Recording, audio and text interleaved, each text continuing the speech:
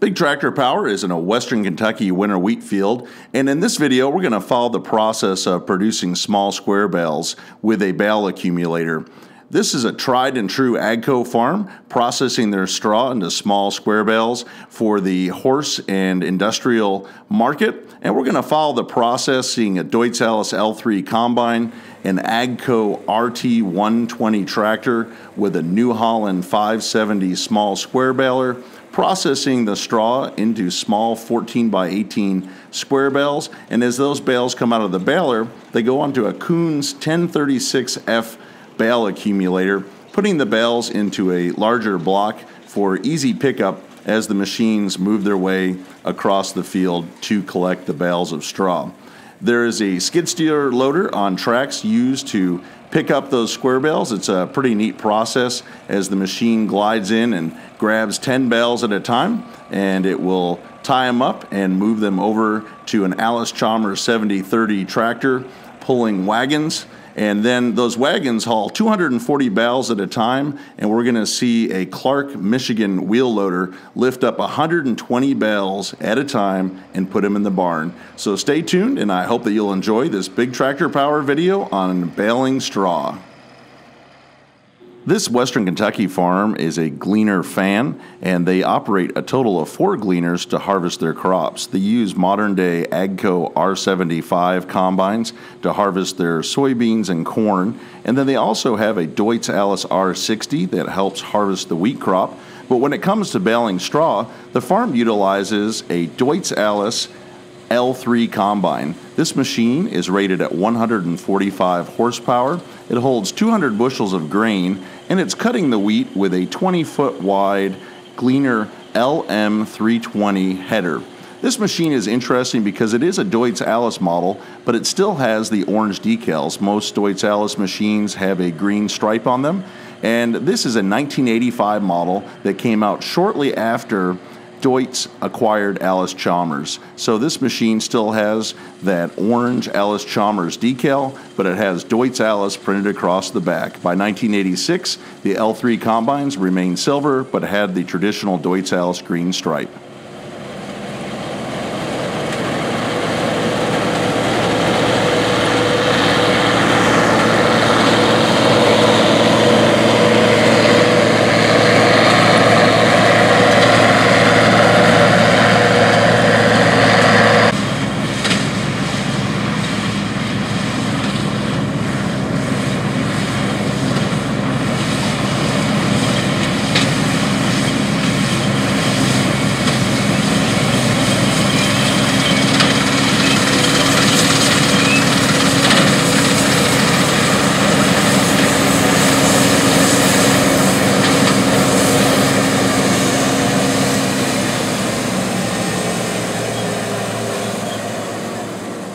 When the Deutz Allis L3 combine's 200 bushel grain tank is full of winter wheat, it's time to unload, and the combine swings out its pivot auger as it pulls up to the semi truck to unload the wheat crop.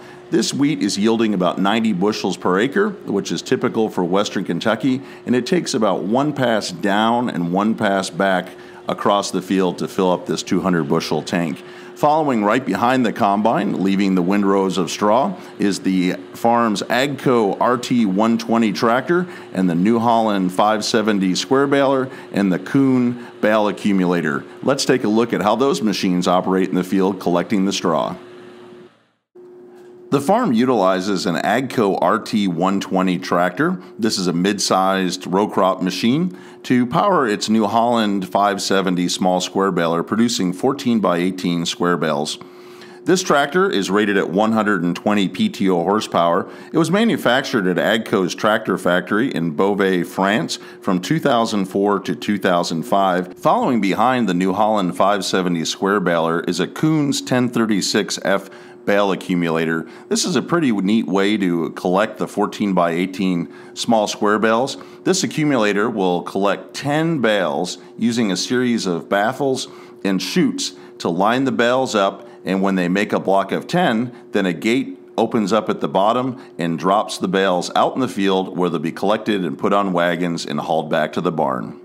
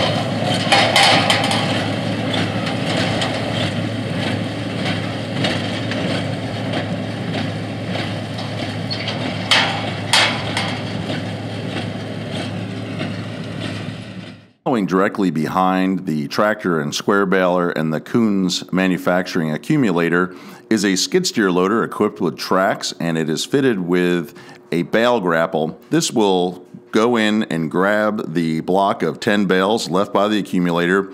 It wraps twine around the bales to hold them together, and then it lifts them onto a wagon with pallets on it, and it will stack 120 bales per wagon. We'll see an Allis-Chalmers 7030 tractor pulling two wagons filled with 240 bales.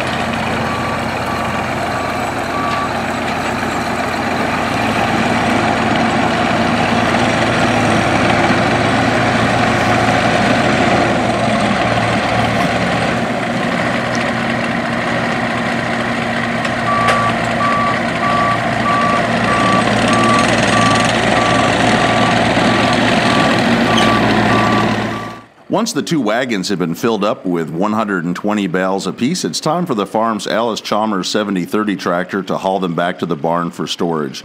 The Allis Chalmers 7030 was produced from 1973 through 1974 in West Allis, Wisconsin, and it's rated at 130 PTO horsepower. This tractor has been on the farm since it was new. As the Allis Chalmers 7030 tractor and the wagons pull up to the barn, we'll see a pretty neat part of this baling process. The farm utilizes a 145 horsepower Clark, Michigan 75B wheel loader equipped with pallet forks. You might have noticed out in the field that the bales were being placed on pallets laid across the top of the flat deck wagons. And this is where the wheel loader now comes in with its pallet fork and lifts up 120 bales right off the wagon. So in two scoops, we'll see the two wagons completely emptied, and then it's time for the tractor to head right back to the field to collect some more square bales.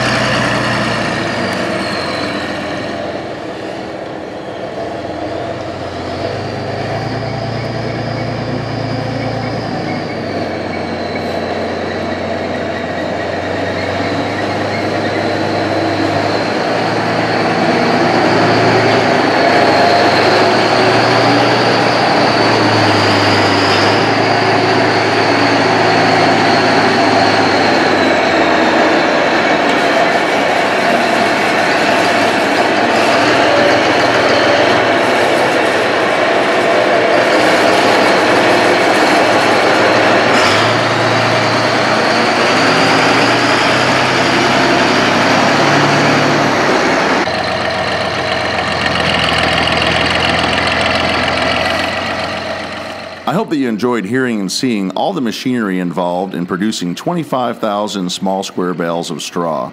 If you would like to see more videos of farm equipment at work, consider subscribing to Big Tractor Power YouTube, where there are over 1,000 videos of farm machinery in action. If you're already a subscriber, make sure to check the channel often, as Big Tractor Power uploads new videos every two to three days. If you'd like to get a sneak peek of what is currently being filmed for the channel, make sure to subscribe to Big Tractor Power Instagram, where I share pictures and short video clips of what is currently happening in the field. As always, thank you for watching.